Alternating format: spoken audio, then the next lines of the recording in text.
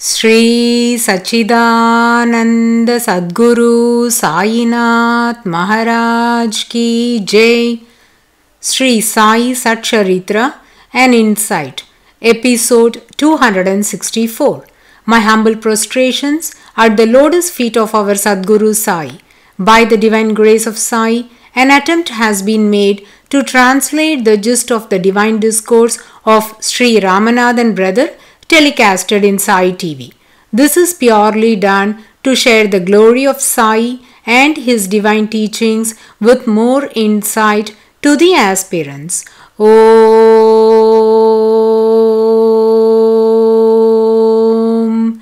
Gurur Brahma Gurur Vishnu Gurur Devo Maheshwaraha Parabrahmam Tasmai Shri Gurave Namaha Devotees, we closed the previous episode with a note that as a devotee is ever absorbed in chanting the Lord's name, so is the Guru incessantly remembering his devotee. Hemat Panji lists the benefits a devotee would reap by reading this holy scripture Sri Sai Satcharitra from OV 94 to OV 100. In the 96th OV, he writes If this book is read regularly at any time of the day by a person, then Sri Hari will manifest along with his Guru to meet such a devotee. Then, in the 97th OV, he mentions that if reading of this book is done every day at any home, Goddess Lakshmi will permanently abide there. Also, if in any house this book is read in one week, then that house will never face poverty.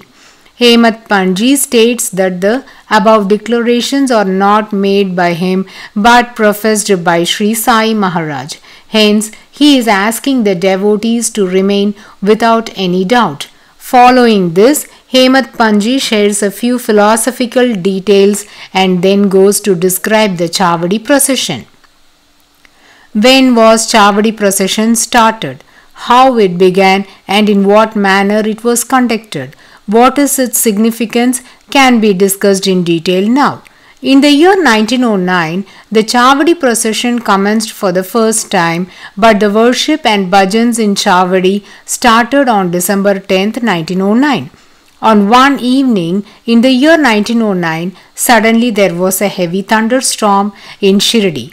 The masjid in which Sri Sai stayed was in a dilapidated condition. The wind was blowing fiercely, and in a short while the entire place was flooded with water.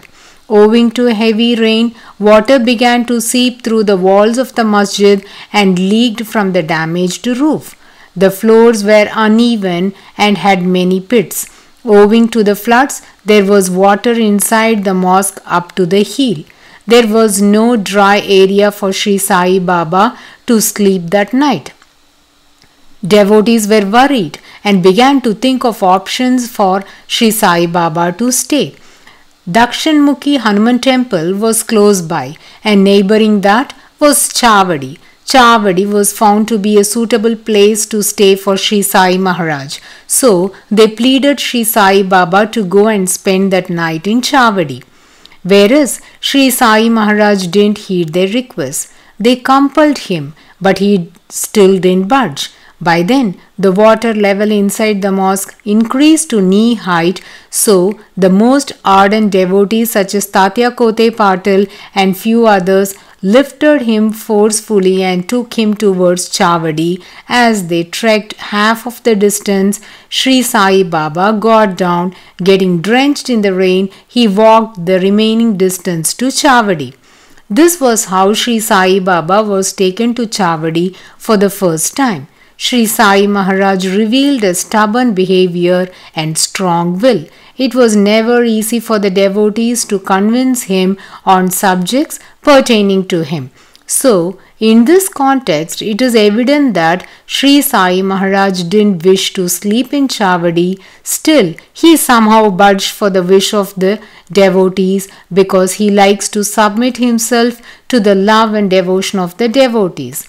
Of course, the devotees did not thrust their wish upon Sri Sai Maharaj for their personal benefit. Instead, it is an outcome of care and love upon Sri Sai Baba. Hence, Sri Sai Maharaj agreed to their call. Following this incident, Sri Sai Maharaj commenced the practice of sleeping in Chavadi on alternate days. In the book Experiencing Shiradi by Alison Williams, the author says Sri Sai Maharaj would not bring any ritual into practice hastily. But once he starts a ritual, then until his Mahasamadhi, he followed that. For instance, there was a miracle where Sri Sai Baba inserted his hand into the dhuni for the sake of saving the life of a child that was to slip into the furnace of the blacksmith. Because of this incident, his divine arm got burnt. From then, the leper devotee Bagoji Shinde massaged his arm and bandaged it. Sri Sai Baba, out of love to his devotee, allowed Bagoji to serve him.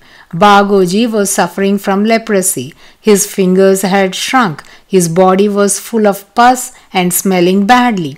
But wonder of wonder, after he started the service to Sri Sai Maharaj, the intensity of the disease reduced. Every morning he would massage the burnt part with ghee, then place a leaf over it and bandage it tightly.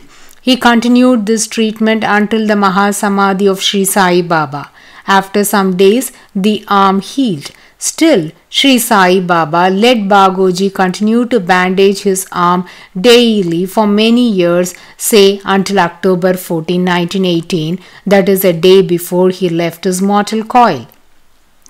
The author Alison Williams quotes various such instances that were followed by Sri Sai Maharaj until his Mahasamadhi. One of those was Sri Sai Baba trekking to Lendibag in the morning and evening daily. Similarly, going on Bhiksha rounds also continued until he left his human body.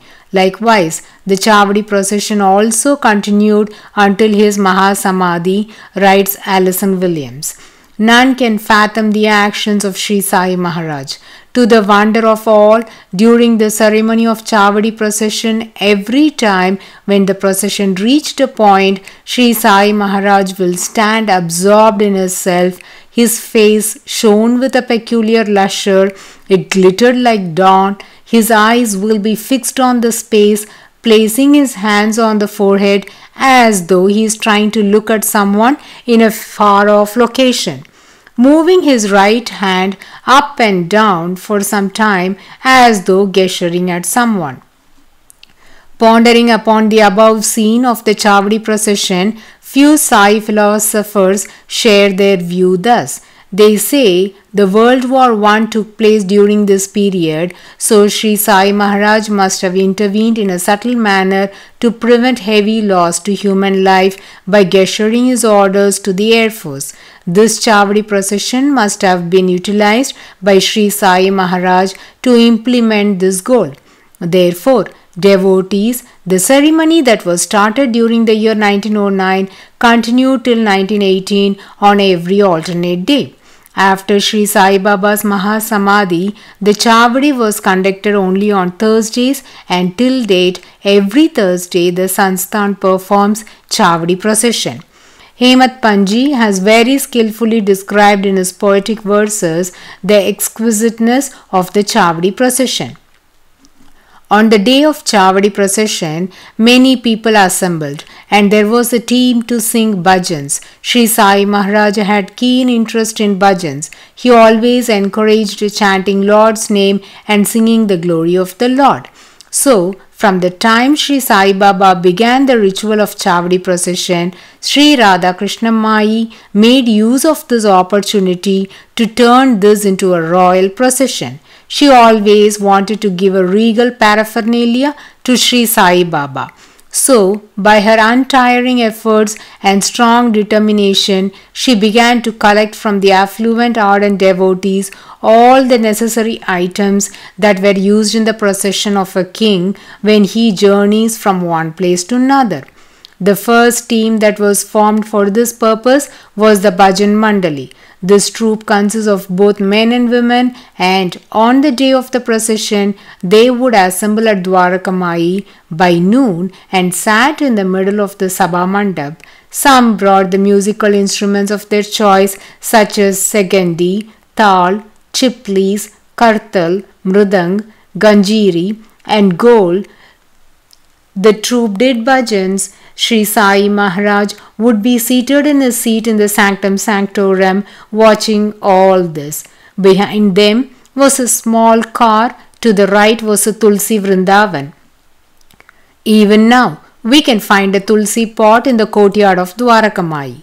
With divine fervor, the bhajan mandali would do their bhajans, while outside some were adjusting the divatyas, that is torches. A few were decorating the palanquin. Many stood with cane sticks in their hands and uttered slogans of victory to Sri Sai Baba and were known as Dandadaris. They would also accompany Sri Sai Baba during the procession. Dandam means sticks Dandadari or those who carry these sticks that were beautifully decorated with unique ornaments. During the king's rule, these staff holders would walk with the king while he is trekking or traveling outside the palace. Then the Bagaldars would be waiting outside for the procession to begin. Bagaldars are those who proclaimed salutations in praise of Sri Sai Baba. They were appointed by Radha Krishna Mai. So just before Sri Sai Maharaj commences the Chavdi procession, the ushers would call out in a loud tone, tone proclaiming Rajadiraja Yogiraja Parabrahma Sri Sachidananda Sadguru Sainath Maharaj Ki Jai. This kind of salutations would be proclaimed usually before the king leaves his palace, and similar one was specially arranged by Radha Krishna Mai for her guru and god Sri Sai Baba. Then flags flew high in the sky. At the road crossing, there were arches, garlands, and buntings. Sri Sai Maharaj loves lamps. Around the masjid, many earthen lamps were lit in rows. The horse Shamkarna was richly dressed and fully caparisoned. Bells jingled on his feet. Radhakrishna Mai had appointed professional trainers to train Shamkarna so that every time before the Chavdi procession began, the horse would caper by lifting its forelimbs above the ground and salute as a mark of respect to Sri Sai Baba. This posture looked like human beings joining palms to pay respects. The arrangements made for every Chavdi procession were magnificent, and the entire village would be in a festive mood, waiting to exhibit their loving devotion on Sri Sai Baba in the best way possible. Devotees folded cloths and shawls and spread them like carpets on the way in which Sri Sai Baba was to walk. They were ready with banners, whisks, fans, and decorations to walk with Sri Sai Baba. Fireworks were also kept ready. Men, women, and children of Shirdi adorned few clothes and participated enthusiastically in the procession.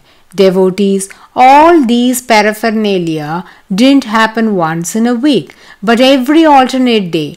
None can measure the excitement and determination with which the devotees took part in this procession.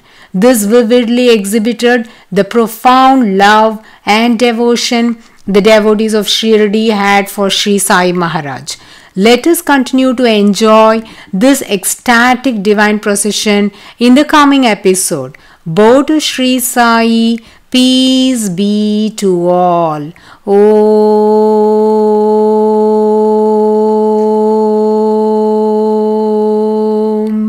Sai Ram.